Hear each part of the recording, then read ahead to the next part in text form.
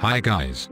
In this video, I show you how to take screenshot without using power button in Samsung Galaxy A52. First open settings. Scroll down and tap on accessibility.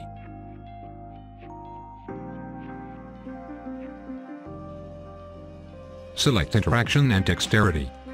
Toggle on assistant menu.